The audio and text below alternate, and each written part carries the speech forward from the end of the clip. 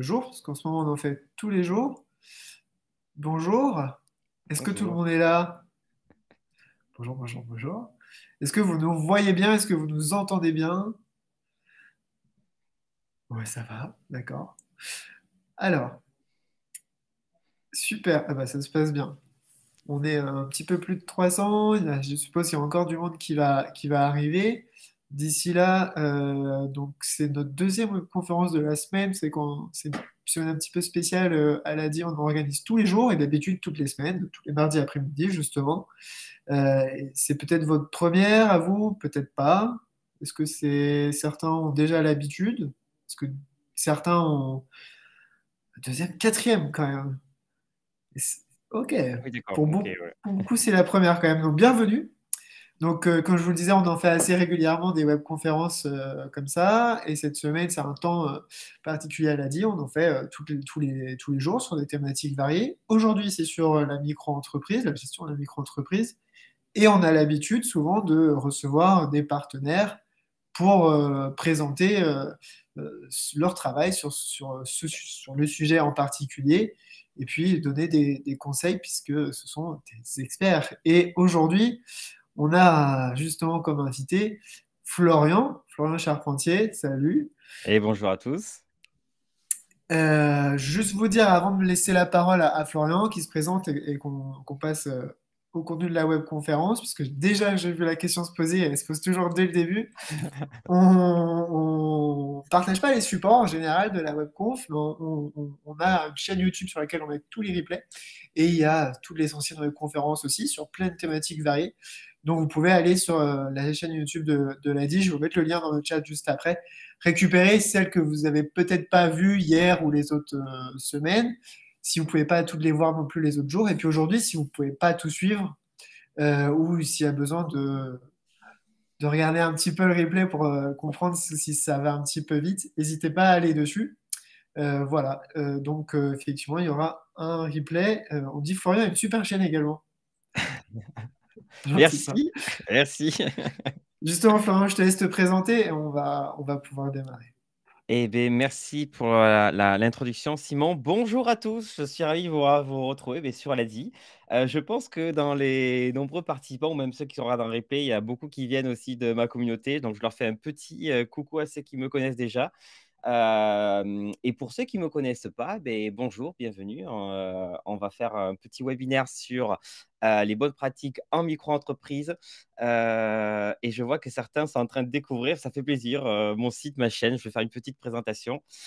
Alors, du coup, aujourd'hui, on va faire un webinaire sur les bonnes pratiques en micro-entreprise. Le but de ce webinaire, pour ceux qui me connaissent déjà, c'est faire une présentation assez simple avec des outils pratiques, des cas concrets, je vais éviter au maximum le blabla de administratif, le jargon un peu chiant qu'on peut entendre à droite à gauche, et que à la fin de ce webinaire, vous dites voilà des choses concrètes avec des cas, avec des calculs, etc. donc super, bonjour à tous à ceux qui me connaissent, qui me découvrent. il y en a qui font la pub directement dans le chat. Euh, eh écoutez, je vais me présenter, Florian Charpentier. Je suis, alors je me nomme décodeur de micro-entreprise. J'explique un peu en gros comment fonctionne la micro-entreprise, l'actualité de la micro-entreprise surtout. Et j'ai créé donc du coup la Micro by Flow, qui est un média qui décrypte la micro-entreprise et je le fais au travers de mon site internet, je le fais au travers de ma chaîne YouTube. Je, suis en train de, gratter un peu TikTok, mais surtout Instagram et Facebook. Donc là, vous n'avez pas d'excuses, je suis partout, sauf sur Skyblog, désolé. Euh, j'ai créé et fédéré une communauté de 110 000 micro-entrepreneurs pour le compte d'une marque qui accompagnait les micro-entrepreneurs. Et en gros, pendant, pendant 4-5 ans, j'ai, répondu à, tous ces gens-là, à 110 000 personnes, matin, midi, soir, nuit, le week-end aussi, en étant salarié et en plus en micro-entreprise. Et en plus, j'étais à l'étranger. Donc, pour vous dire, j'ai vraiment toute la casquette micro-entrepreneur, expatrié, avec la micro-entreprise en France, etc donc, vous pouvez me retrouver sur mon site lamicrobyflow.fr, Facebook, Instagram, YouTube, LinkedIn, plutôt en mon nom directement, Florent Charpentier. Et j'ai mis en lien un site qui s'appelle ressources.lamicrobyflow.fr qui résume un peu toutes les offres, enfin, toutes les offres, tous les sites, services, outils pour les micro-entrepreneurs. Donc, tout ce qu'on va voir dans ce webinaire, vous pourrez les retrouver sur ce site-là. Euh, en même temps, je regarde un peu vos chats. Concernant la présentation, vous pourrez poser vos questions en pleine présentation. Euh, je vois vos questions, je vois vos chats euh, en live. Simon sera là pour et récupérer les questions que j'ai peut-être loupées, etc. Donc, vous pouvez interrompre. Sachez que normalement, je vais traiter de beaucoup de choses. Et après, euh, si vous avez des questions un peu plus précises, il y a mon site avec beaucoup de vidéos, des vidéos de 5 minutes et des articles avec des cas concrets. En tout cas, on va commencer. Jean-Pierre, il est, il d'attaque. En commençant, commençons. Sommaire, euh, on va voir la partie trésorerie, on va voir la partie facturation, comptabilité, la protection sociale et retraite. Je ne vais pas vous rappeler les bases, mais je vais en gros vous expliquer comment préparer sa retraite et euh, les choses à vérifier concernant votre protection sociale, la protection de l'activité et euh, quelques conseils que je vais vous donner. Et après, on pourra répondre à vos questions s'il y a encore des questions qui arrivent. Euh, il y a une question que Juliette, ah oui, quand je parle de micro-entreprise, auto-entreprise, c'est exactement la même chose. Donc moi, j'utilise le nouveau terme qui s'appelle micro-entreprise, mais c'est la même chose. Alors, on va commencer par la trésorerie. Qu'est-ce qu'on doit mettre de côté? Comment ça se passe pour gérer un peu notre budget, notre argent en micro-entreprise? Et je vous ai fait un graphe pour que vous voyez visuellement. Ce graphe, il n'est pas fixe, c'est-à-dire qu'en fonction de chacun, en fonction de votre situation, ça peut évoluer. Euh, je pars du constat que pour la plupart d'entre vous qui faites de la prestation de service, vous avez 22% de cotisation sociale, même si elles ont baissé cette année à 21,2%, etc. Je vais laisser à 22%. Vous avez normalement 2 à 4% d'impôts et 1% de CFE. La CFE, c'est une taxe, euh, on va dire, une taxe foncière liée à votre micro-entreprise, au local que vous utilisez, ou alors si vous avez juste un bureau pour faire votre, euh, votre activité. La CFE, c'est aux alentours de 250 euros à l'année. Bon, j'ai calculé, c'est un petit pourcentage de votre chiffre d'affaires. Et des frais de ce qu'on appelle de fonctionnement, c'est-à-dire, par exemple, si vous avez des logiciels, si vous vous déplacez, si euh, l'essence, j'en sais rien, si vous avez acheté du matériel. Et là, j'ai mis 20%, mais ça, ça dépend en fonction de chacun, euh, chacun d'entre vous. Donc, si vous avez plus ou moins de frais. Et le reste, donc, c'est pour vous. Les 45% restants, alors ça peut être plus, 55%, hein, c'est pour vous. Il faut savoir qu'une fois que vous avez payé les trois choses que vous devez payer en micro-entreprise, c'est-à-dire les cotisations sociales à l'URSSAF, les impôts et la CFE, tout le reste de l'argent, c'est pour vous. Et ce que je vous recommande de faire, c'est la première recommandation que je vous, que je vous fais, c'est une fois que vous avez tout payé et que vous avez mis un peu de trésor de côté, c'est de vous faire un virement, un seul virement de votre compte bancaire euh, micro-entreprise à votre compte bancaire personnel avec le libellé rémunération. Je vous donne un exemple. Moi, par exemple, je me fais un virement de 2000 euros par mois avec le libellé rémunération sur mon compte bancaire personnel et euh, je n'ai pas besoin de payer de cotisation dessus, etc. Et tout. C'est juste, euh, c'est comme un salaire, mais sauf qu'il n'y a pas de fiche de paye, il n'y a rien à payer dessus. Et ça me permet, moi, si demain je vais voir mon banquier, euh, ça me permet de lui dire, regardez, pendant ça fait 12 mois, 10 mois que je me verse 2000 euros. Et donc après, si demain vous devez demander un crédit ou quoi que ce soit et tout, vous allez pouvoir un peu plus justifier, argumenter votre situation stable en micro-entreprise. La CFE, exactement, c'est la cotisation foncière des entreprises. C'est une taxe en gros foncière qui est liée à micro-entreprise, si vous avez un local ou autre, et il y a des cas d'exonération. Alors, ça, c'est pour la partie gestion de trésorerie et l'astuce pour le, ouais, le, virement, c'est vraiment, ça peut aider. Euh, c'est pas tout le temps le, joker, mais ça peut aider euh, votre banquier pour montrer que vous avez des revenus stables. Gestion de trésorerie. Donc, la question, c'est de se poser qu'est-ce qu'on doit mettre de côté, comment ça marche, etc. et tout, combien se verser en fait? Moi, ce que je dis, c'est partez des charges personnelles. Ça veut dire mon loyer, euh, mes courses, etc. et tout. Combien j'ai besoin pour vivre en prenant aussi peut-être les aides sociales que vous avez, mais combien j'ai besoin de, pour vivre? J'ai peut-être besoin de 800 euros, j'ai peut-être besoin de 900 euros ou de 1000 euros, peu importe. À partir de là, calculez votre chiffre d'affaires minimum que vous devez réaliser, sachant que si vous avez besoin, par exemple, de 800 euros pour vivre, eh bien, ça va pas être 800 euros de chiffre d'affaires parce que du coup, il va y avoir des cotisations sociales, les impôts, la CFE à payer. Donc, ça va être plus que 800 euros. Il faut aussi partir des coûts sur euh, les coûts de votre micro-entreprise, c'est-à-dire si vous avez du matériel, des abonnements logiciels, etc. et tout. calculer les cotisations sociales, en gros, ça va vous calculer un chiffre d'affaires à réaliser, minimum.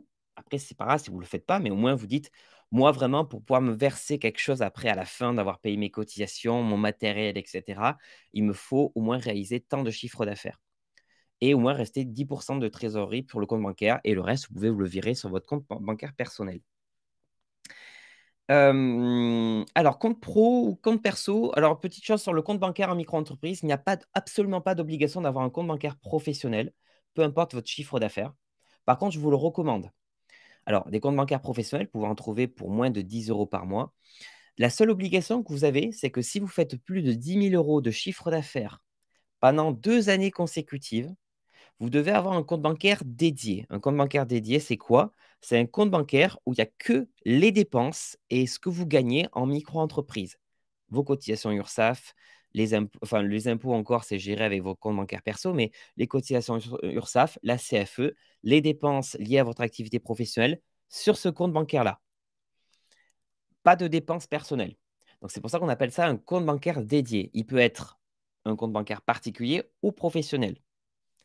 Attention, parce que maintenant, il faut la mention EI sur les comptes bancaires dédiés à la micro-entreprise et certaines banques refusent de le mettre sur les comptes bancaires particuliers. Allez, on continue. Euh, je pense qu'il va y avoir d'autres questions, mais restez jusqu'à la fin. Je vous promets, on va traiter la plupart des questions qui vont arriver. La facturation. Petit rappel sur la facturation. La facturation est obligatoire entre professionnels.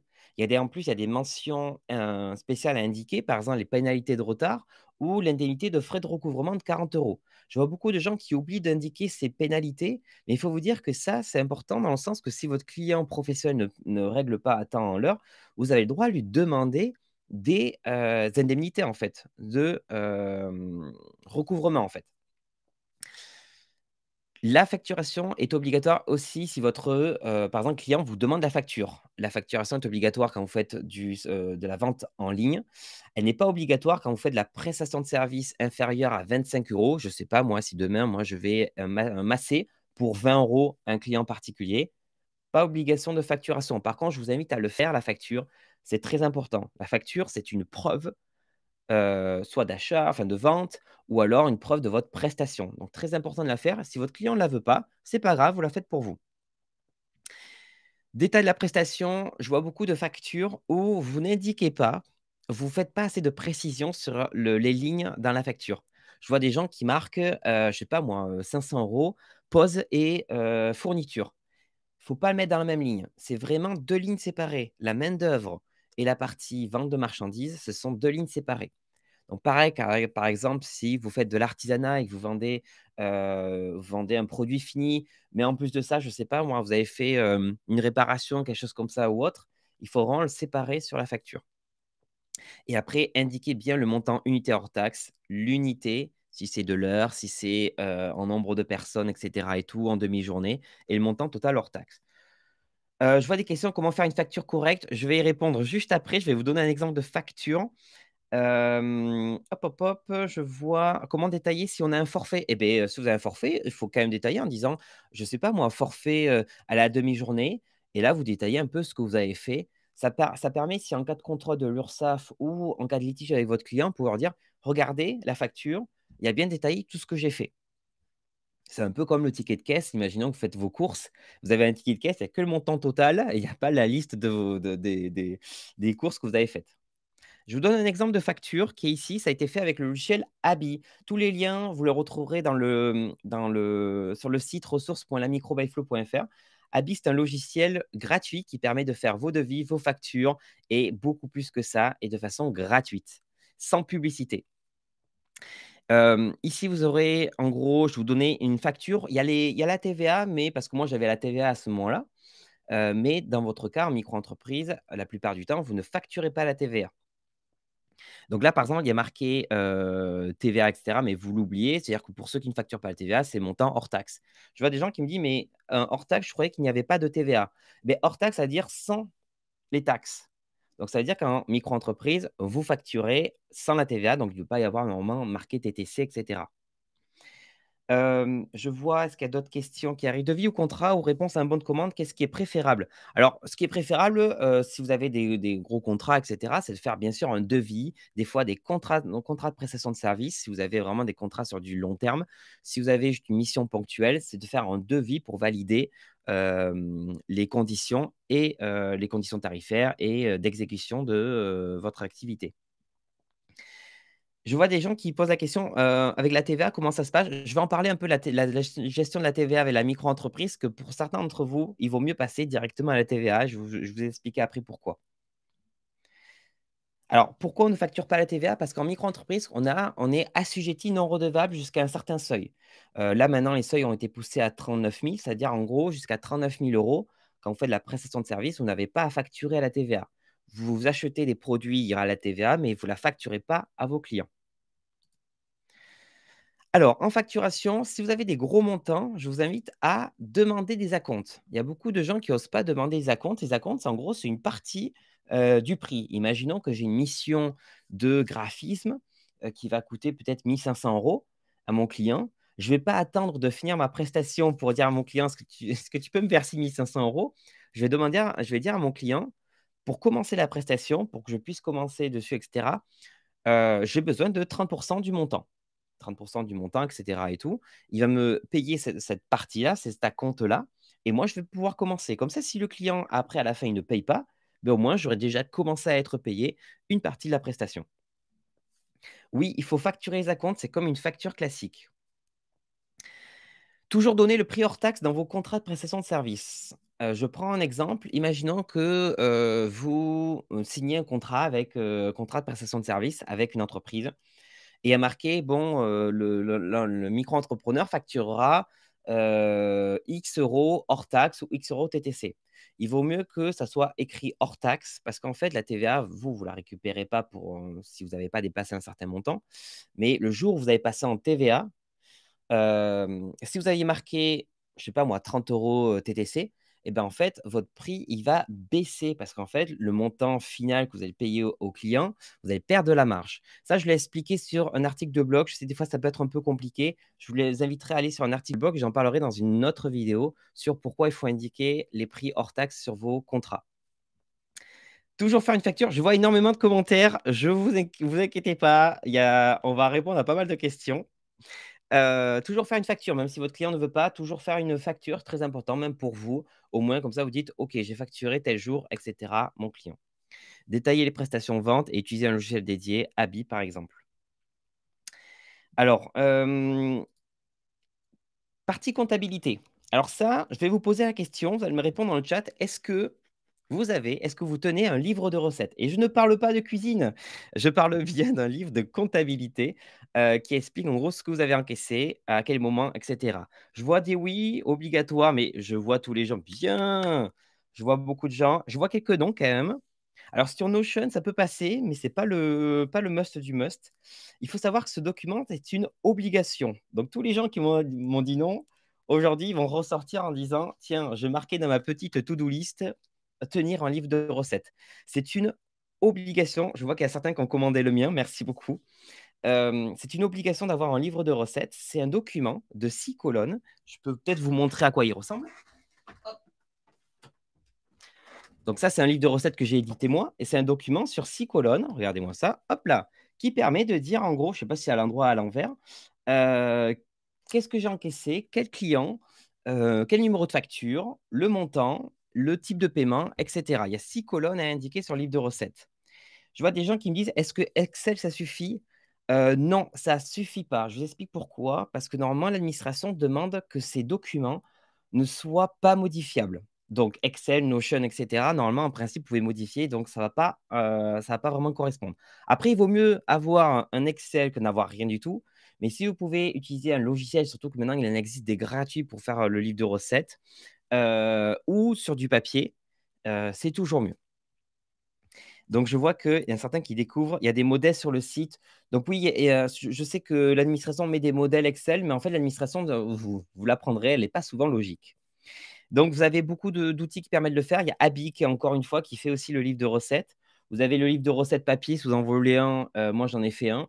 Et voilà, vous devez en gros, pour ceux qui n'ont pas tenu de livre de recettes jusque-là, je vous invite à pouvoir remonter, enfin refaire votre livre de recettes depuis le début. Parce que si vous avez un contrôle de l'URSSAF, c'est ça qu'ils vont vérifier en premier. Votre livre de recettes, est-ce que ça correspond à ce que vous déclarez à l'URSSAF, etc. Donc, je vois qu'il y en a qui découvrent. Alors non, mon livre de recettes papier, il n'est pas gratuit parce que derrière, je fais... il y a des imprimeurs, il y a une graphite à payer, etc. sur le livre de recettes, pour certains qui, si vous avez un, autre, logiciel ou autre, il faut faire des totaux mensuels, trimestriels et annuels.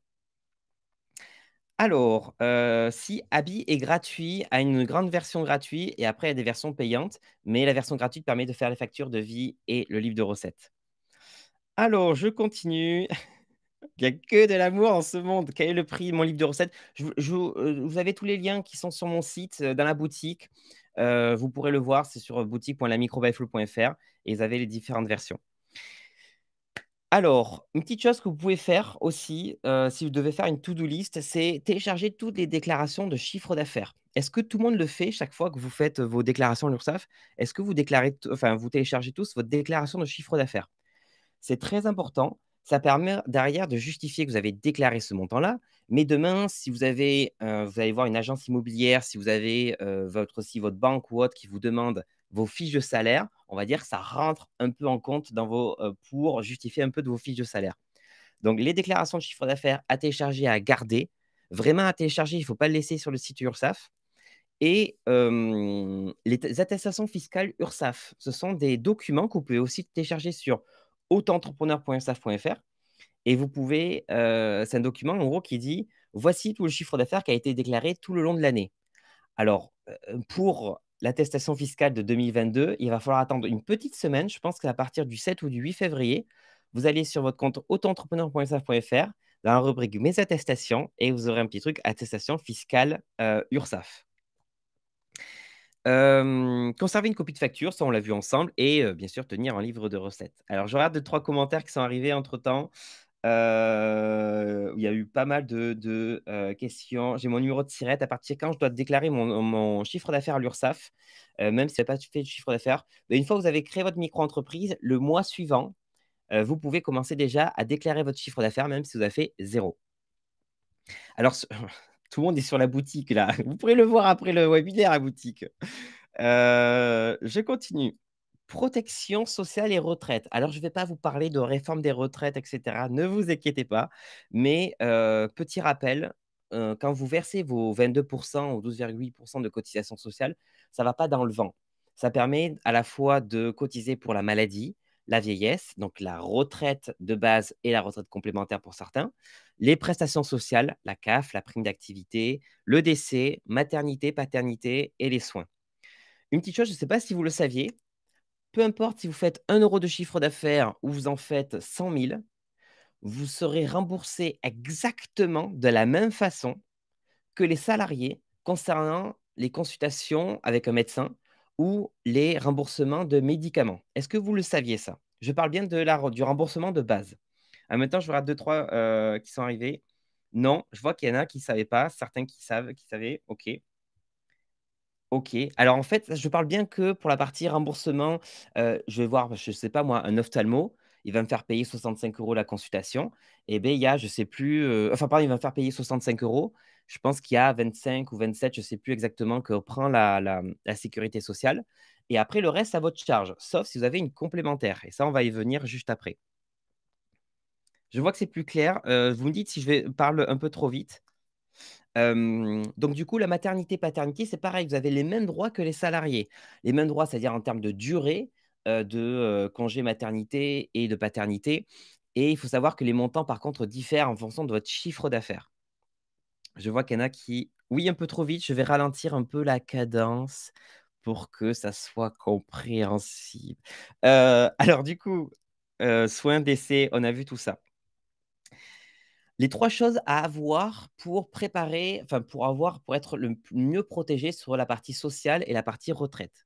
Il y a la complémentaire et la prévoyance. Est-ce que tout le monde sait la différence entre la complémentaire et la prévoyance santé? Je vous regarde un peu dans, dans les, en petit à complémentaire du conjoint de ses salariés. je vois qu'il y a beaucoup de gens qui ne savent pas la différence. Eh bien, je vais pouvoir vous l'apprendre. Et ça, vous allez pouvoir dire, OK, maintenant, je sais pourquoi je paye, en fait. La complémentaire mutuelle, c'est pour, en gros, rembourser les, soins médicaux et les remboursements de médicaments. Je vous avais dit que quand vous êtes malade, enfin pas quand vous êtes malade, quand vous allez voir votre médecin ou vous allez voir votre pharmacien, la Sécu va rembourser une partie, donc une première couche. Le reste, s'il y a encore des, ce qu'on appelle le reste à charge, c'est à vous de le payer. Par contre, la complémentaire, ce que tout le monde appelle la mutuelle santé, normalement ça s'appelle une complémentaire, va prendre une couche supplémentaire et va payer le reste. Je reprends l'exemple avec mon ophtalmologue, 65 euros la consultation, il y a 20 ou 25 euros ou 22, je ne sais plus, pris en charge par la Sécu, et le reste par la complémentaire. Et je vous montrer à quel point une complémentaire, ça peut être intéressant, une mutuelle à avoir. Euh, je me suis fait faire des lunettes de repos que vous pouvez voir que j'utilise euh, actuellement. Donc, des lunettes de repos qui ont coûté peut-être 300 euros. La sécurité sociale, très généreuse, m'a dit on vous donne, on vous rembourse de 7 centimes. Merci la Sécu, ça fait plaisir. La complémentaire, elle m'a dit on vous rembourse de 245 euros. Donc voilà, euh, la mutuelle complémentaire, à quoi elle sert Sachez que vous pouvez être sur la mutuelle complémentaire de votre conjoint, de votre conjointe, etc. Donc oui, en plus j'ai répondu à Mélanie tout de suite. La prévoyance santé, elle sert à quoi? La prévoyance santé, elle sert en fait à apporter une couche supplémentaire sur la partie indemnisation en cas d'arrêt euh, maladie, par exemple. Je prends un exemple. si aujourd'hui je tombe malade et que je, suis en arrêt, arrêt maladie, donc il y a des, ce qu'on appelle des jours de carence, des jours sur lesquels la Sécu ne va pas me rembourser. et si je suis tombé malade pendant un mois, la Sécu va me donner des, va me verser des indemnités. Le problème, c'est que en fonction de votre chiffre d'affaires, ces indemnités sont très très basses. Ça peut monter jusqu'à 60 euros par jour, mais c'est très rare. Il faut faire vraiment un gros chiffre d'affaires. Donc, à quoi va servir la prévoyance? La prévoyance va, servir pour dire OK, la Sécu vous a, euh, vous a versé un montant, mais nous, on va vous verser un autre montant. On va vous indemniser en cas d'arrêt. Alors, attention, la plupart des prévoyances, c'est souvent des délais, on va dire, de euh, de 30 jours. C'est-à-dire qu'ils vont commencer à vous verser des sous qu'à partir du, euh, du 31e jour.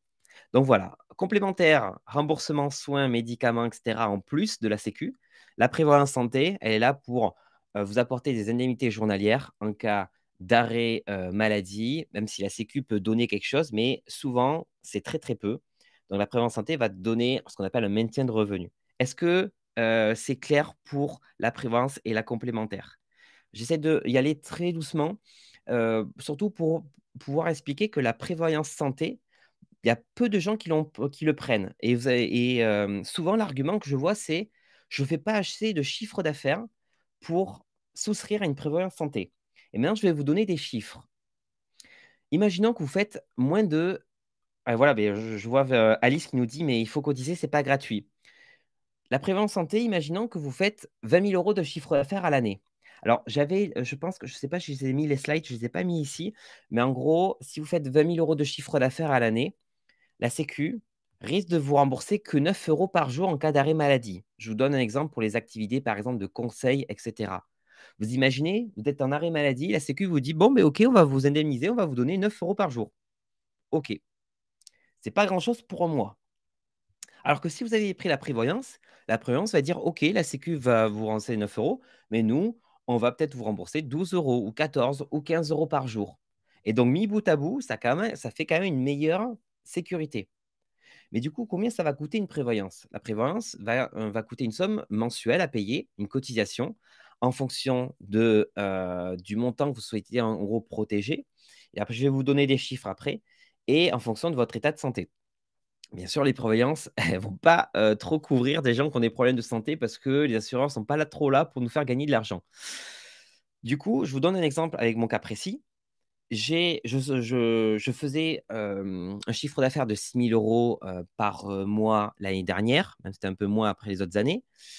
Et je dis, j'ai dit à, la prévoyance, est-ce qu'on peut me couvrir au moins la moitié de ces revenus, donc à peu près 3 000 euros? Et j'ai 30 ans à ce moment-là quand j'ai fait la souscription. Et en gros, je payais 22 euros par mois pour être indemnisé à hauteur de 40 euros à peu près par jour. Est-ce que vous vous rendez compte quand même que je paye 22 euros par mois pour avoir une indemnisation de 40 euros par jour? Alors, certes, il y a un délai de carence qui peut être de 30 jours. Ça veut dire que c'est à partir d'un mois où je serai indemnisé par, euh, par euh, ma prévoyance. Mais il faut vous rendre compte que vous cotisez derrière quand même pour avoir une indemnisation. Pareil, euh, je vois, c'est trop sympa pour les personnes handicapées avec des soucis de santé. Malheureusement, ouais, ça, il faut voir directement avec des assureurs ou autres en direct. parce qu'il y a des il y a des assureurs qui sont plus ou moins souples. Donc ça, il faut vraiment se pencher avec eux et leur expliquer votre situation. je regarde un peu tout ce qui arrive. merci pour les retours sur la façon d'expliquer. Est-ce qu'il y a eu des questions qui ont été... alors, la mutuelle, vous aller sur la mutuelle de votre conjoint, votre conjointe. Et dans certains cas, je vais le dire juste après, vous pourrez aussi utiliser la mutuelle de votre entreprise, même si vous, êtes licencié. Je prends un exemple. Aujourd'hui, on est le 31 janvier. Je suis licencié d'une entreprise dans laquelle j'étais salarié. Si demain, moi, j'ai Pôle emploi, pendant 12 mois, je pourrais demander à continuer à profiter de la mutuelle d'entreprise. Donc ça, j'espère que vous le saviez. Euh, ok. Donc maintenant, on va parler du PER, la plan épargne retraite. Alors, pourquoi je vous parle du plan épargne retraite? Alors en plus, on, on, est vraiment dans la réforme des retraites. Le plan épargne retraite, c'est un produit d'épargne qui permet en fait de mettre des sous de côté et ces sous vont être bloqués jusqu'à la retraite. Alors, je ne vais pas rentrer trop dans les détails parce que j'ai fait des articles dessus, ce n'est pas l'objet du webinaire, mais pour vous expliquer, c'est des sous que vous allez mettre sur un compte et ces sous vont fluctuer plus ou moins, en plus ou en moins. C'est un peu comme de la bourse, sauf qu'en fait, vous, prenez des actions auprès d'entreprises et ça va fluctuer en fonction de votre profil. Si vous dites, ben, moi, je suis prêt à faire plus 15 ou moins 15, ou je suis prêt à faire plus 5 ou moins 5, etc. Alors, le, PER, il est là pour dire qu'à la fin, combien vous pourrez avoir en plus pour votre retraite. Vous allez débloquer à la fin un capital vous pourrez vous verser mensuellement ou vous récupérer d'un coup. Je vous donne un exemple concret. Si aujourd'hui, j'ouvre un PER, plan épargne retraite, que je verse 100 euros par mois, pour ma retraite, plus tard, je pourrais débloquer ce plan épargne retraite et je pourrais bénéficier de 450 euros. Alors moi, j'ai fait une simulation avec le plan épargne retraite que j'ai choisi. Je pourrais avoir 450 euros de plus pour ma retraite. J'adore son accent. Je suis du sud-ouest. Je ne vous ai pas dit entre Bordeaux et Toulouse. Euh, je suis agenais. Euh, team chocolatine. Alors, du coup, euh, vous pourrez bénéficier de 450 euros. Alors, ça va être en fonction, bien sûr, si vous, êtes, vous avez 50 ans et vous ouvrez votre plan d'épargne retraite, si vous versez que 100 euros par mois, vous n'allez pas avoir ce montant-là. Donc, ça va être en fonction de ce que vous allez verser. L'avantage du plan épargne retraite, c'est que vous pouvez déduire une partie des montants que vous versez de vos impôts. Mais je ne vous recommande pas de le faire tout le temps. Ça va dépendre si vous êtes vraiment imposable ou non. Je ne vais pas trop rentrer en détail, mais en gros, vous avez un avantage fiscal en, de déduction en gros d'impôts de, que vous pouvez utiliser soit chaque année, soit à la fin quand vous allez récupérer votre pactole, votre plan épargne retraite. Voilà concernant le plan épargne retraite. J'en ai fait des vidéos, je ne vais pas rentrer trop en détail. Il existe d'autres produits d'épargne l'assurance vie, etc., etc. Sachant que le plan épargne retraite, les gens ne savent pas. Ils se disent, ouais, mais c'est bloqué jusqu'à la retraite et tout. Premièrement, peu importe la réforme des retraites qu'il va y avoir, votre plan épargne retraite, pour l'instant, il est sauvegardé. Il ne va pas être touché. Et deuxièmement, vous pouvez, dans certains cas, le débloquer avant. Si, imaginons que vous allez euh, euh, acheter votre résidence principale, vous pouvez débloquer votre plan épargne retraite. Si demain, vous n'avez plus, vous n'êtes plus indemnisé par Pôle emploi, vous pouvez euh, débloquer votre plan épargne retraite à l'avance. Alors, je suis pas là pour mettre est-ce que c'est à éviter ou à prendre ou autre. On n'est pas là pour. Mais c'est un des produits d'épargne pour préparer la retraite. Est-ce que c'est assez clair pour vous maintenant pour la, partie protection sociale? Si je peux vous donner un ordre d'idée, en plus, en fonction de votre situation, mais complémentaire et prévoyance. moi, j'ai une complémentaire qui me coûte 70 euros par mois. Ma prévoyance, une trentaine, quarantaine d'euros par mois, donc une centaine d'euros par mois. mais au moins, je suis bien, bien couvert. Et en fait, on ne se rend pas compte, on se dit, ouais, mais on a, on a beaucoup de taxes en micro-entreprise. En micro-entreprise, avec que 22% de cotisation sociale, ce qui est rien par rapport à des salariés qui sont taxés peut-être à 46, voire 80% de, au total, en fait, de cotisation. Mais derrière, ils, ont, ils, sont indemnisés par Pôle emploi, etc. Ils cotisent pour Pôle emploi, etc. Et ils ont toute cette protection sociale. Et on peut pas dire, on peut pas dire, je souhaite payer que 22% de cotisation et avoir la même protection qu'un salarié. C'est pour ça qu'il faut penser à avoir la mutuelle et une prévoyance santé, même si vous faites peu de chiffre d'affaires. Renseignez-vous parce que des fois, même cotiser 10 euros pour une prévoyance santé, ça peut vous sauver la mise. Quand il y a eu le Covid, c'était le cas. Il y a des gens qui ont eu que 5 euros de la part de la Sécu, alors que ceux qui avaient la prévoyance santé avaient reçu un peu plus. Est-ce que les cotisations de base permettent de cotiser pour la retraite? Oui, ça permet de cotiser pour la retraite, mais attention, il y a des minimums de chiffre d'affaires à faire.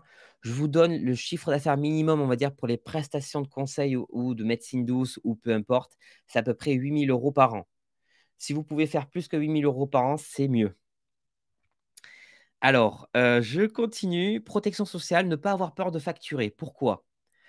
Parce qu'aujourd'hui, on se dit, il y a l'inflation et je suis le premier aussi à être embêté quand je demande des sous à, à des gens. Quand j'ai fait mon livre de recettes, que j'ai fixé un prix, je me suis dit, ça m'embête, il y a l'inflation, on est tous en train de chercher nos, euros et ça m'embête de facturer ce prix-là. Mais derrière, il faut se dire que votre retraite, elle ne va pas se financer avec d'amour et d'eau fraîche. Et ce n'est pas vos clients qui vont, en gros, vous, vous, retrouver à, à 62 ans, 65 ans et vous dire tenez, euh, c'était cool notre relation, je vais vous donner des sous. Donc aujourd'hui, il faut que vous préparez votre retraite, euh, votre retraite ou plus tard aussi euh, votre entre guillemets votre chômage en facturant décemment. C'est-à-dire vraiment, vous dites ben, voilà, moi ce que je facture, c'est ma prestation, mon prix, mais c'est aussi mes congés payés que je que pas forcément. C'est aussi mon chômage dans lequel je cotise pas et ma retraite. Et ça, il faut vraiment le prendre en, compte. Il faut vraiment vous dire que si vous facturez, ce n'est pas juste vos prestations, c'est votre avenir que vous préparez en facturant, en, fixant votre, votre, votre tarif. La portabilité, c'est ce que je vous ai dit, c'est la complémentaire, la mutuelle, vous pouvez avoir pendant un an si vous êtes licencié de votre entreprise et vous pouvez l'avoir pendant 12 mois si vous êtes indemnisé par Pôle emploi.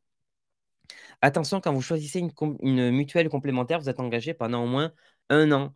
Donc ça, fait très attention pour le choix, souvent aussi pour les prévoyances. Et pour les prévoyances santé, pareil, j'ai fait... Euh, alors non, je ne suis pas lancé en assureur. Pourquoi, Laurence?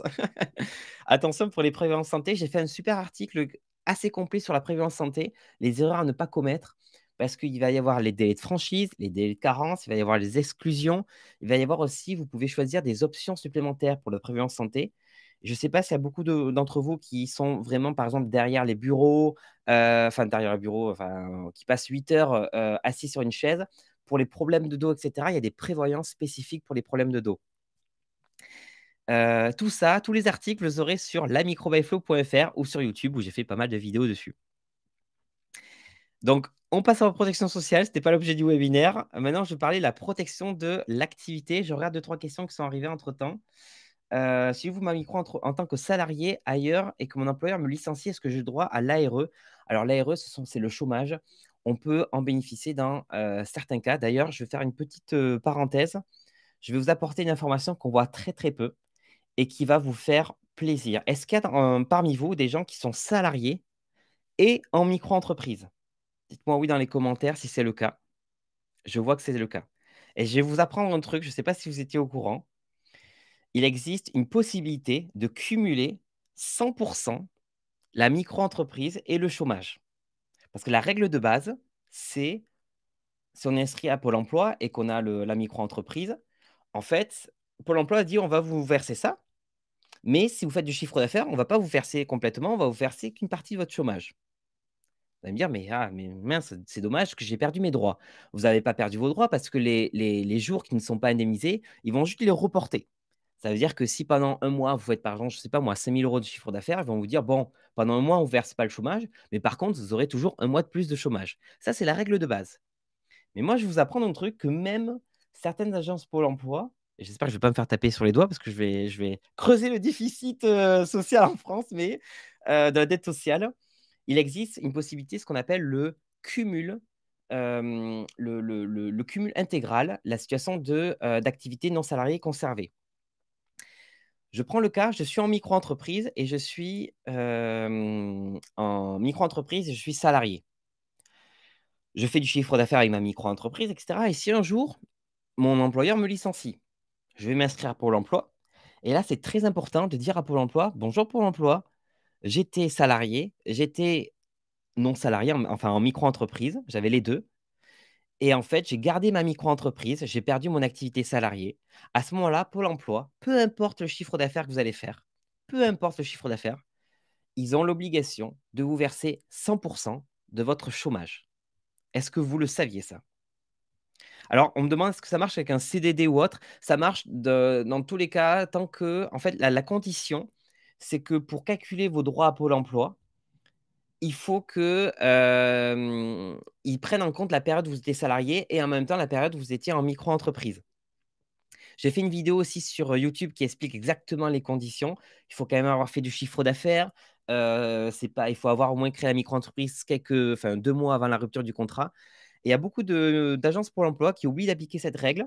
Et pour ceux qui étaient dans ce cas-là et dont Pôle emploi a oublié d'appliquer cette règle, vous pouvez demander à récupérer vos droits. En gros, euh, si pendant sept mois, euh, Pôle emploi ne vous avait pas versé intégralement, vous allez pouvoir revenir voir Pôle emploi en disant euh, il y a sept mois de droits que je devais avoir, etc. Je vois les questions qui arrivent. il faut que je note ça quelque part. J'ai une vidéo disponible sur YouTube. J'aurais dû placer tous les liens, mais j'ai une vidéo disponible sur YouTube sur le sujet. Vous tapez cumul intégral Pôle emploi micro-entreprise. Je pense que vous allez retrouver.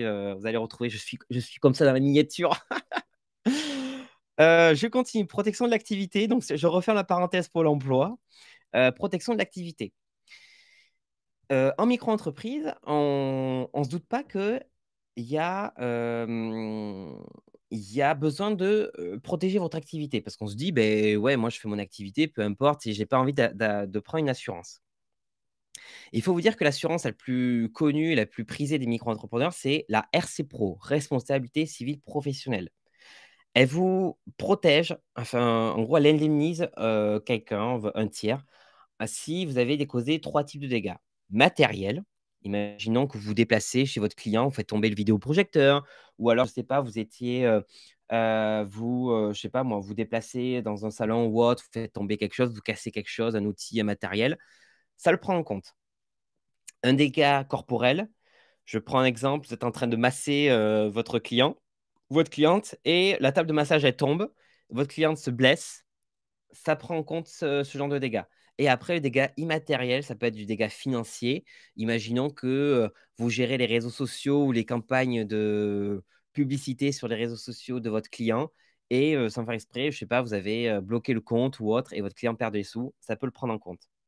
La RC Pro, on oublie souvent on oublie souvent que ça peut être utile. C'est un peu comme prendre le vélo sans le casque ou alors prendre la voiture sans une assurance. On se dit, ben, on s'en fout, on va pas prendre une assurance, on se fait pas, on roule doucement, on, est sur les petites routes, mais le jour où on a un accident, ça va nous coûter cher. Alors que la RC Pro, c'est la même chose. C'est vraiment c'est vraiment l'assurance qui peut vous protéger. Oula, ça, ça a switché. Ça peut vraiment vous protéger en cas de dommages matériels, corporels ou immatériels causés à quelqu'un.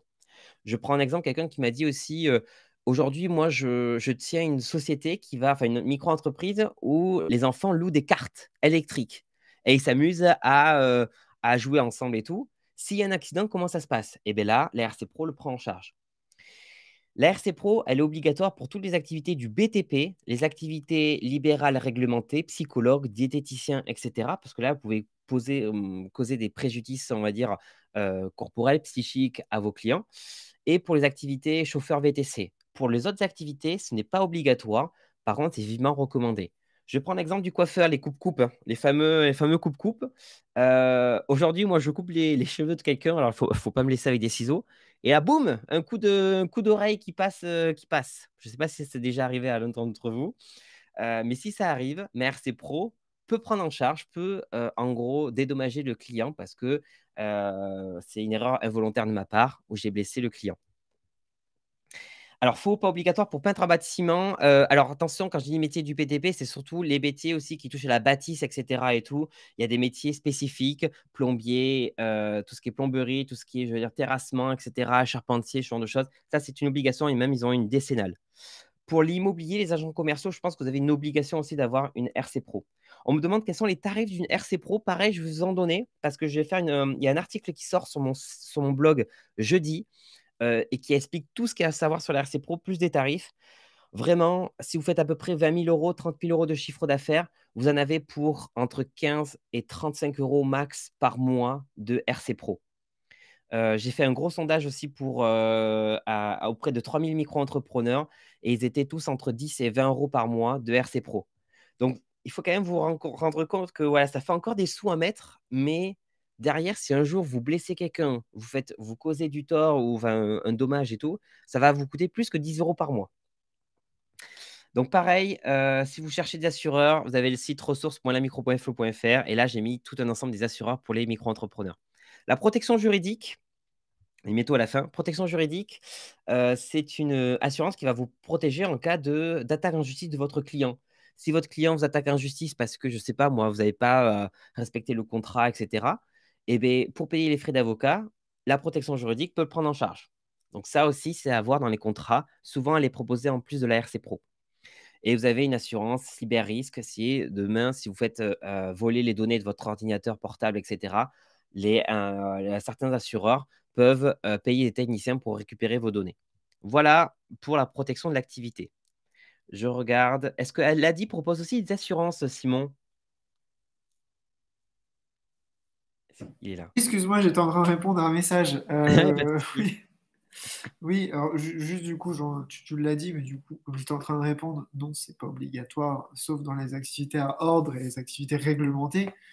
Mais, comme ça a été dit d'ailleurs déjà dans le chat, c'est fortement recommandé. Il y a des activités qui sont peut-être pas à risque pour vous, notamment corporel, mais euh, surtout, euh, surtout pour les tiers et puis pour votre matériel aussi. Hein, quand vous avez du matériel, euh, assurez, ça. et alors, l'a dit. Est-ce que l'a dit propose des assurances du coup? pas, On n'est pas, on pas assureur. non, mais, des partenaires. Mais, hein. mais, voilà, on travaille avec euh, AXA, notamment pour la, partie pro, et Alliance pour, euh, les, pour les véhicules. Euh, et donc, c'est pour assurer, c'est micro-assurance, hein, donc c'est pour des petites garanties, effectivement, quand vous avez beaucoup de matériel ou des grands locaux, ou choses comme ça, il va falloir penser à, prendre une assurance avec plus de garanties, mais là, de toute manière, même si elle n'est pas obligatoire, elle est très très recommandée. Alors, pour démarrer, ça peut être pas mal d'avoir une micro-assurance, effectivement, pour une petite garantie et surtout euh, pas cher, parce que c'est du coup des tarifs négociés. C'est un, bon plan. Donc, euh, appelez-nous. Oh. Alors, euh, concernant les tarifs, je, je voulais faire un petit emoji, mais il n'est pas sorti. concernant les, les, tarifs, quand c'est des tarifs négociés comme ça avec des partenaires, c'est très bien. Par contre, je vais donner un conseil. Attention avec les banques qui vous proposent à la fois l'assurance, la, prévoyance, etc. Je vous explique pourquoi. Ah oui, les banques peuvent vous proposer des packages avec l'assurance, avec la prévoyance, avec la mutuelle. Mais est-ce que derrière, vous allez protéger votre activité euh, via votre boulanger? Chacun a, un métier, on va dire. Euh, et le problème, c'est que oui, c'est des assurances pas chères, mais il faut bien regarder les termes du contrat. Parce que souvent, les RC Pro qui sont des fois à moins de 10 euros par mois, si ce n'est pas du négocié, etc. et tout, si c'est juste avec en direct avec votre banquier ou autre, souvent, il y a des franchises, par exemple, de 450 euros ou de 500 euros, ou alors il y a des exclusions. Donc faites très attention par rapport à ça sur le choix des assurances. Pareil, je vais sortir un article qui explique un peu tous les points à vérifier et comment lire un contrat. ça, c'est un truc qu'on m'a beaucoup demandé, comment lire un contrat, parce que les assureurs ont l'obligation de donner des genres de contrats très simples, ce qu'on appelle des fois les, PID ou autres. Mais faites très attention. chacun son job, faites très attention, que ce soit pour la prévoyance, la mutuelle ou autre. Je sais qu'on on recherche nos sous, mais payer une prévoyance, payer une RC Pro à 10 euros par mois et se dire on est protégé, le jour où il nous arrive quelque chose, on va dire oh, j'avais pas vu la petite ligne, c'est dommage. Donc euh, faites très attention à ça. Surtout soit les franchises, soit comme ça a été dans le chat, soit des garanties plus faibles. Alors voilà, si vous avez peu de biens à assurer, c'est pas grave. Euh, par contre, si à un moment vous développez et qu'il y a, des, plus de biens ou plus de garanties à avoir, attention. Alors, quand on dit euh, euh, attention aux banques, on n'est pas là pour taper sur les banques, nous, hein, mais effectivement, ça a été dit, chacun son métier. Et puisque la question a été posée dans le chat, il y a les, assureurs, c'est pas forcément des banquiers. Oui, il, y a, il, y a, des assureurs pros euh, qui, font ça, qui font que ça. Ça existe mm. encore. C'est ça exactement. Donc après, bon, maintenant, il y, a un mélange un peu avec les banques, assurances, etc. Je vois, on me pose la question, euh, Christelle, euh, est-ce qu'il faut une assurance pro et perso? Alors, l'assurance perso, on a souvent une responsabilité civile qui est souvent avec le contrat d'habitation. Vous allez me dire, mais c'est génial, je suis protégé. Non, non, parce que pareil, comme les prévoyances, les assureurs, je suis désolé de dire ça, il faut le dire, sont pas là pour vous faire gagner des sous. Donc, euh, qu'est-ce qui va se passer? Si vous avez un problème un jour avec un client, n'importe quoi Qu'est-ce qu'ils vont dire avant de vous indemniser? Qu'est-ce qui s'est passé? Machin chose et tout. Ah, vous étiez en clientèle, mais attendez, c'est pour votre activité professionnelle? Oui, oui. Ah ben désolé, votre contrat, euh, il couvre uniquement la partie euh, euh, personnelle, en fait, pas votre activité. nous, on ne savait pas que vous faisiez cette activité, donc on ne le couvre pas. Donc, faites pas avoir par, ben, par, par le fait de se dire, mais moi, j'ai déjà une, une RC, une responsabilité civile, donc je n'ai pas besoin d'en prendre une autre. C'est vraiment deux choses différentes pour l'activité et pour votre vie de tous les jours. Euh, alors, ouais, Caroline qui nous dit il faut une mutuelle prévoyance assurance pro. Combien par mois au total pour un bon package? J'avais calculé. Alors, pour quelqu'un en bonne santé, qui n'a pas d'autres, qui a pas d'enfants, des choses comme ça, qui est tout seul et qui a la trentaine, hein, j'ai fait pour moi. Hein, c'est à peu près allez, 100, 150 euros grand max. Après, plus on prend de l'âge, euh, plus les prévoyances vont être plus chères, les mutuelles vont être plus chères. Donc, on peut monter sur du 200 euros, etc. Et tout. Oui, c'est vrai, je, me permets, Florian, les, tarifs des assurances, elles sont souvent euh, fixes. Hein. Euh, bon, parfois même, il y a des différences géographiques. Mais, oui, oui, d'accord. Ah mais, euh, mais, surtout pour les véhicules, véhicules pro, par exemple. mais mais souvent, c'est quand même assez fixe. Effectivement, comme tu l'as dit, c'est plutôt la, la, la, complémentaire, la mutuelle et puis la retraite, qui, le, la prévoyance qui, mm qui coûte de plus en plus cher avec l'âge, euh, désolé. Et, euh, et, si on a des enfants à couvrir, etc. Donc là, c'est impossible de donner un prix moyen. Mais... Ouais. ouais, c'est ça. C'est ouais, c'est vraiment ça va dépendre. Euh, pour ça, faites, faites pas qu'un seul devis, faites des devis avec des assureurs et après informez-vous vraiment. Euh, surtout qu'en plus, prévoyance, vous engagez pour un an, mutuelle, vous engagez pour un an. La RC Pro, c'est souvent, ils vous proposent des contrats annuels euh, ou mensuels, peu importe. Mais euh, en fait, plus vous aurez fait le travail en amont de vous renseigner sur comment ne pas se faire avoir et les choses à vérifier un peu à droite à gauche, et plus vous pourrez vous dire, OK, aujourd'hui, je suis serein parce que je paye peut-être plus cher que toi en assurance, mais derrière, je sais que si j'aurai ce problème spécifique, ils vont le prendre en compte. Euh, alors, les derniers conseils que je peux faire, et après on pourra répondre à toutes les questions qui arrivent. ça, c'est des conseils que vous ne verrez pas trop dans, le, dans, les, articles qui parlent de la micro-entreprise ou parce que ça, c'est vraiment des conseils pratico-pratiques que moi je donne en fonction des, personnes, enfin des, cas. Si vous travaillez qu'avec des clients professionnels, je ne sais pas si c'est le cas, dites-moi si c'est le cas, vous n'avez que des clients pro, je vous invite à facturer la TVA dès le début dès le début facturer la TVA. Vous allez me dire, mais pourquoi? Pourquoi? J'ai pas envie de payer la TVA, c'est horrible la TVA et tout. Euh, c'est une aubaine pour vous de facturer la TVA parce que vous pourrez récupérer la TVA sur vos achats, vos déplacements, etc. Oui, en micro-entreprise, on peut facturer la TVA. Oui, en micro-entreprise, on peut récupérer la TVA sur nos achats, comme les entreprises, les sociétés, etc. Et euh, je vous donne un exemple. Imaginons qu'aujourd'hui, je facture ma prestation de 100 euros hors taxe, une prestation de conseil. Mon client en face, c'est un client professionnel, euh, c'est une entreprise à qui je fais des conseils. Si demain je facture la TVA, mon client, je vais pas lui facturer, je vais lui facturer 100 euros hors taxe, mais je vais ajouter les 20% de TVA, donc je vais lui facturer au total 120 euros TTC. Mon client va me verser 120 euros. Et là, écoutez bien, il y a 100 euros, je mets dans la poche de gauche, je vais donner à l'URSSAF, je vais déclarer à l'URSSAF, aux impôts, à la CAF, Pôle emploi, etc. Les 20 euros restants, je les mets dans poche de droite et je vais les donner à l'État. Et c'est pour ça que dès lors qu'on facture la TVA, on ne va pas payer plus de cotisations, on ne va pas payer plus d'impôts, on ne va pas euh, avoir une baisse de nos aides. Parce qu'en fait, ce qu'on déclare à l'URSSAF et à toutes les autres administrations, c'est le chiffre d'affaires hors taxe. Vous allez me dire, mais maintenant, comment on fait pour récupérer la TVA sur nos achats? Eh bien, je reprends un exemple. Je, euh, je m'achète, je sais pas moi, euh, tiens, je m'achète des, euh, des écouteurs. Bon, non, les écouteurs, c'est pas vraiment très professionnel ça. je sais pas un truc plus pro là. Un téléphone, voilà. ou alors même le micro. Le micro qui est professionnel, je l'achète. Et il y a, imaginons, 10 euros de TVA dessus. Ou une imprimante, pareil, ouais, une imprimante, c'est très bien. Il y a 10 euros de TVA dessus. eh ben, je vais dire, je vais les payer, hein, je vais payer l'imprimante TTC, et je vais dire à l'État dans ma déclaration TVA, bonjour l'État, je vous dois 20 euros, parce que j'ai dans ma poche de droite, j'ai les 20 euros, mais par contre, vous, vous me devez 10 euros, parce que j'ai acheté quelque chose, je souhaite récupérer la TVA dessus. Donc l'État va dire, au final, vous, enfin, je leur dois que 10 euros. Ça, ça fait 20 moins 10, je leur dois que 10 euros. Et c'est comme ça qu'en fait, les 10 euros, euh, je les garde dans la poche, je donne 10 euros à l'État. Et ces 10 euros, je n'ai pas à les déclarer. Je les ai dans ma poche, basta. Donc ça, c'est... Alors, on demande, Juliette, qui me dit, mais comment, c'est, comment euh, cela fonctionne que si on n'est pas en régime simplifié?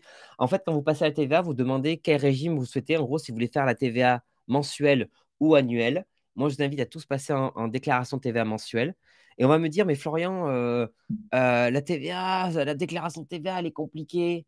Bibi, il a pensé à tout. Il vous a fait un article sur comment remplir la déclaration TVA, un chatbot sur comment remplir la déclaration TVA, une vidéo sur comment remplir la déclaration TVA. Euh, et il faut vous dire que la déclaration TVA, il n'y a que trois lignes à remplir. Une ligne sur le même montant que vous indiquez à l'URSSAF, le chiffre d'affaires hors taxe. Une ligne sur quel est le pourcentage de TVA sur ce montant hors taxe. Et une ligne sur, c'est les trois lignes minimum. Après, il peut en avoir plus en fonction de votre situation. Mais la déclaration TVA, on en fait tout un foin. Mais vraiment, elle est assez facile à remplir. Donc ça, c'est pour ceux qui facturent qu'avec des professionnels. Euh, je vois la question, Jean-Christophe, si on bénéficie de l'ACRE, est-ce qu'on peut quand même facturer la TVA L'ACRE, ça n'a rien à voir avec la TVA. L'ACRE, c'est une exonération des cotisations sociales. Ça veut dire que euh, je vais payer moins de cotisations sociales à l'URSSAF. Mais la TVA, c'est la partie impôt. Enfin, c'est comme un impôt. Donc, c'est encore autre chose. Euh, merci Laurence. Du coup, ça c'est pour ceux qui facturent avec des professionnels. Ceux qui facturent avec des particuliers, est-ce que vous avez tous adhéré à un médiateur de la consommation? Je regarde en même temps.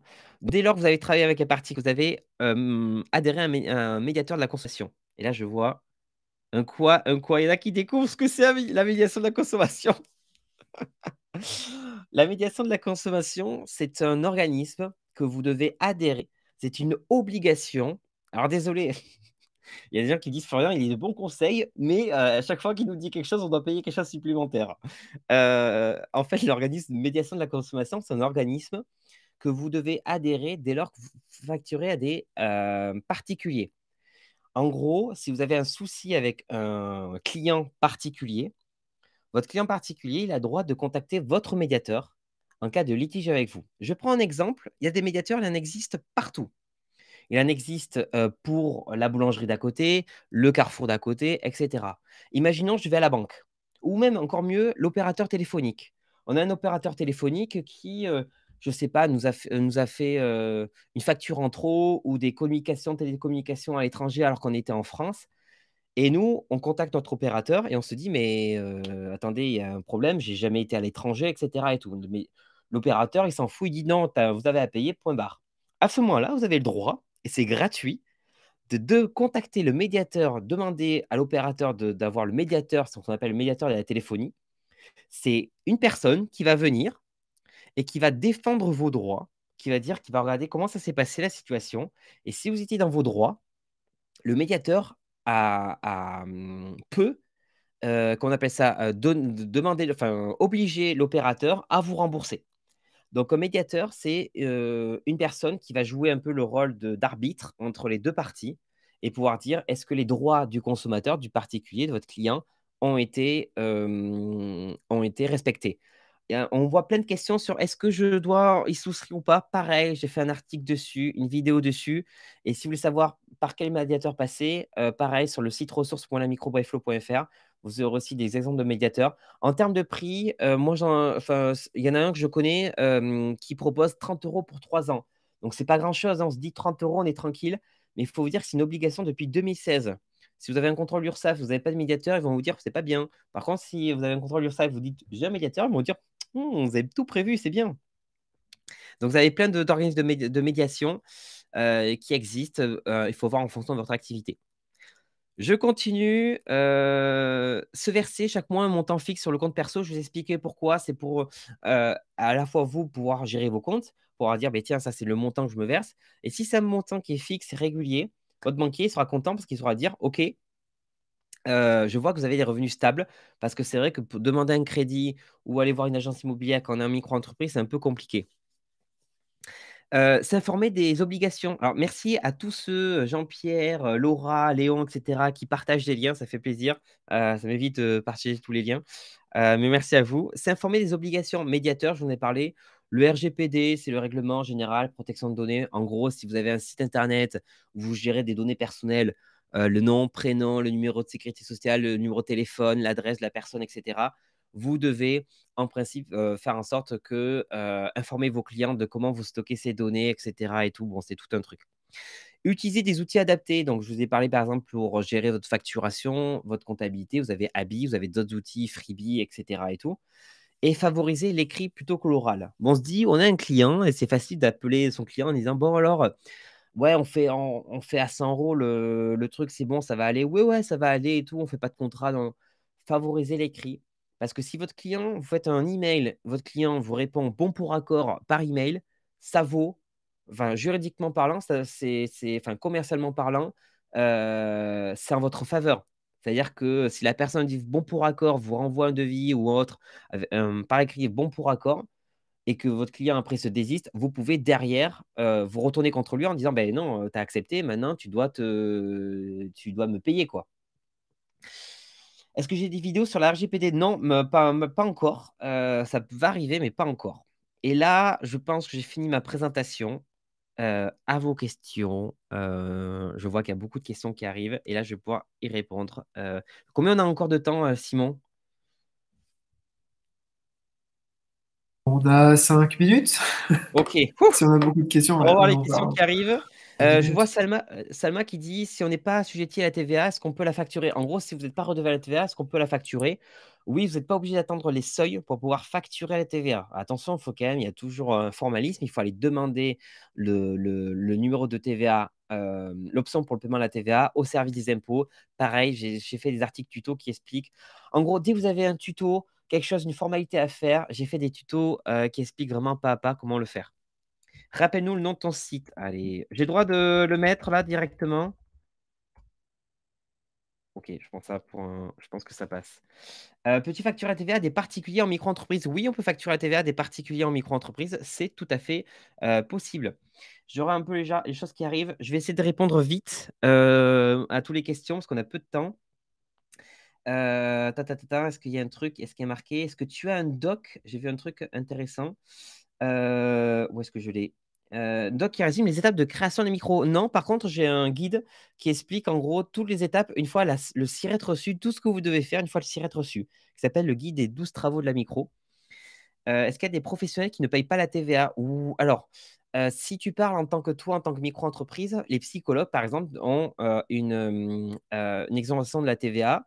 Il y a aussi les professionnels de l'enseignement. Par exemple, si demain, moi, je suis coach sportif, enfin, coach sportif, j'enseigne, je ne sais pas moi, les langues, j'enseigne le sport, etc. et tout, je peux être aussi exonéré de TVA. est-ce qu'on alors est-ce qu'on peut facturer la TVA si on travaille avec des associations? En fait, c'est pas c'est pas votre client qui décide non si vous devez facturer la TVA, c'est votre situation à vous. Si votre client ne peut pas récupérer la TVA, ça c'est autre chose. Alors, euh, j'ai vu qu'on pouvait dépasser le CA de deux ans consécutifs. Est-ce qu'il est possible de dépasser le CA sur un an, euh, un an sur deux? Oui, c'est possible. Euh, là, vous avez les plafonds qui ont basculé à 80 000 euros, les plafonds de chiffre d'affaires. Mais si je fais 100 000 euros cette année, je reste en micro-entreprise l'année prochaine. Si l'année prochaine, je refais 100 000 euros, je sors de la micro-entreprise en 2025. Est-ce que ce guide est gratuitement sur votre site? Non, Alice, euh, non, non, ce guide est payant parce qu'il est très bien illustré. J'ai passé du temps à le faire. Tout est résumé avec des tutos partout. Donc, il est disponible sur ma boutique, mais euh, il n'est pas gratuit parce que moi, derrière, j'ai besoin de vivre aussi.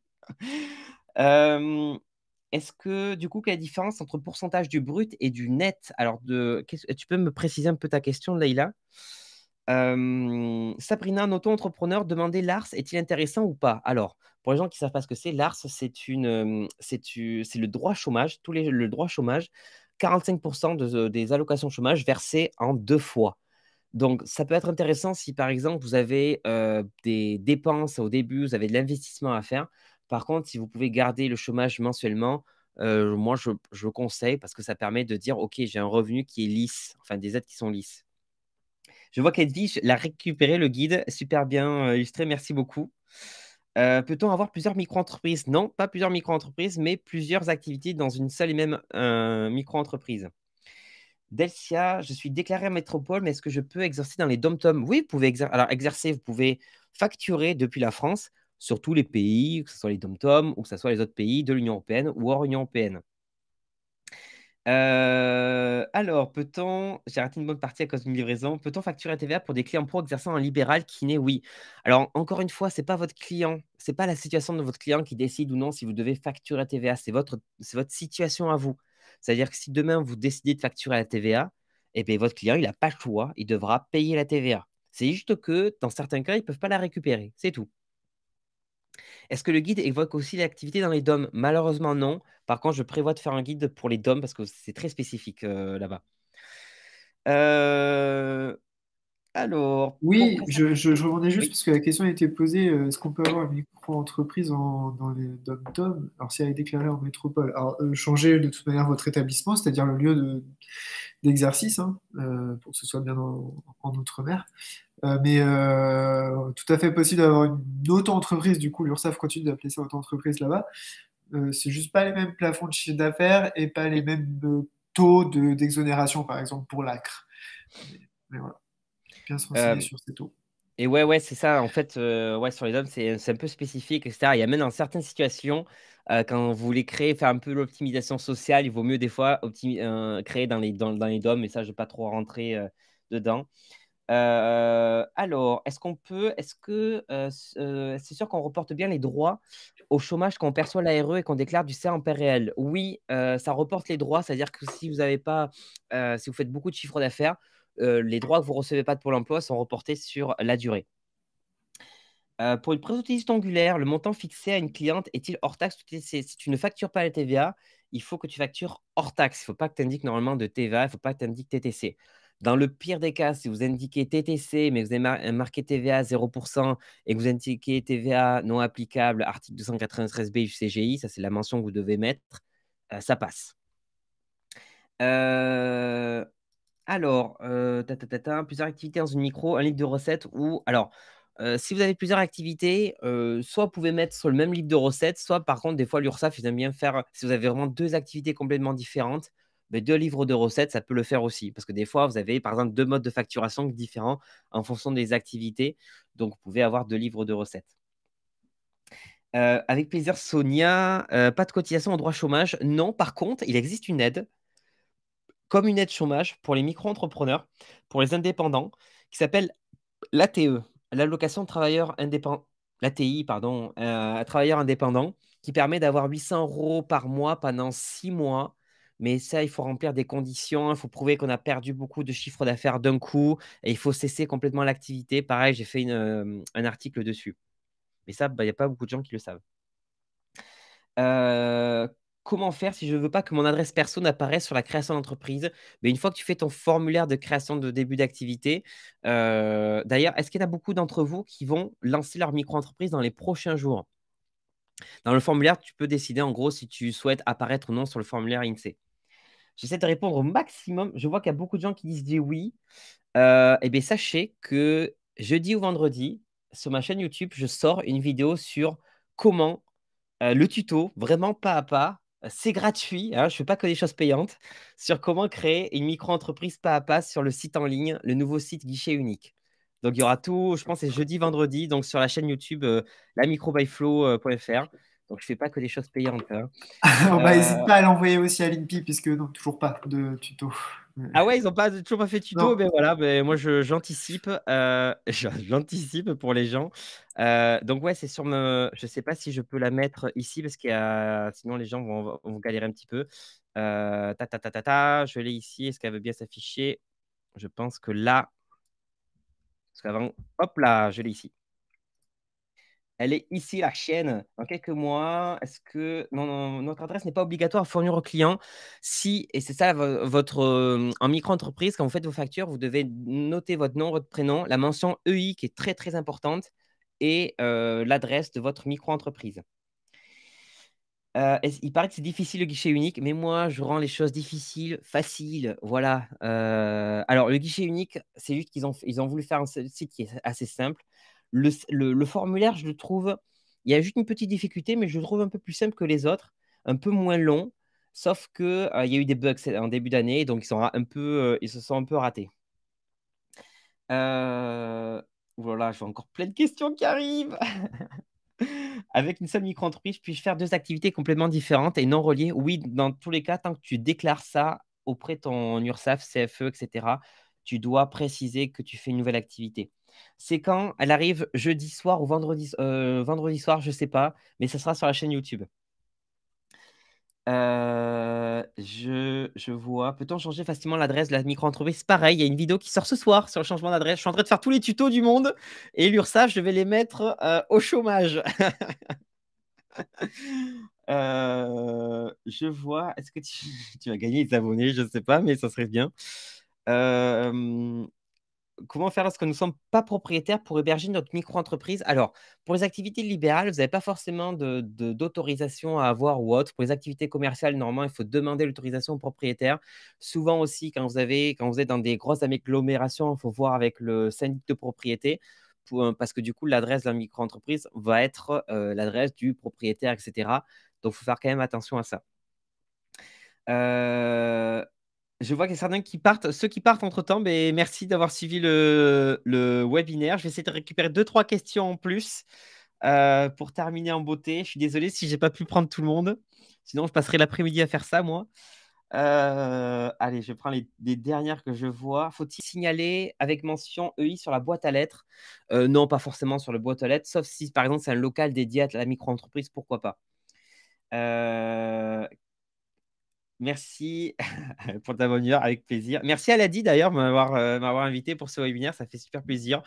Et, euh, après, si vous voulez qu'on fasse d'autres webinaires avec sur des problématiques comme la protection sociale, retraite et tout, ben, euh, prévenez le prévenez Ladi et on pourra voir ou sur les impôts, la TVA, que des sujets sympatoches. Donc Euh, le replay, je pense Oui, on va, on, va en faire, à mon avis, sur. Euh, j'aimerais beaucoup sur la retraite, sur les questions, justement, on parlait d'assurance, couverture, enfin, tous les, droits, euh, protection sociale et tout, parce que c'est pas assez connu. Malheureusement, vous le savez, hein, ça évolue tout le temps, ça bouge tout le temps, donc là, c'est la période en plus, et ça va arriver. Mais je vois. Ouais, alors je ouais, je vois pas l'auto-promo. Je pensais pas faire autant de. Mais c'est vrai que c'est ça m'embête un peu des fois de me dire, mais euh, il y a plein de sujets qui, qui vont être abordés et je peux pas le faire en 30 secondes, donc je préfère envoyer sur des articles et tout. Euh, mais vous avez beaucoup de, de, contenu gratuit normalement sur mon site. Je fais vraiment en sorte qu'il euh, y ait toujours de l'information accessible pour les gens.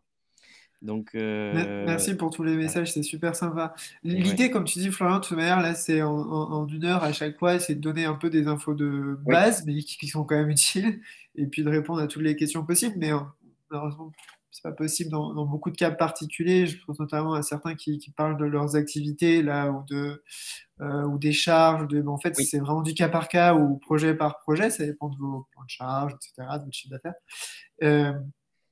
Mais l'idée, c'est aussi de vous dire, il y a des infos de base et il y a des infos qu'il faut aller chercher, ou, alors vous venez nous voir après, euh, ou Florian, pour euh, avoir euh, plus d'infos.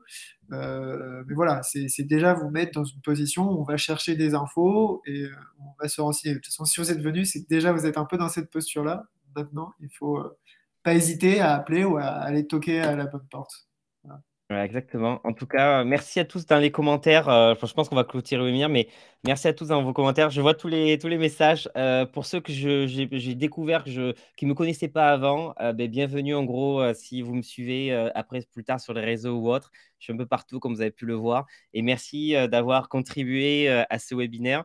Pour ceux qui me connaissent, ben, on se retrouve dans des prochaines vidéos.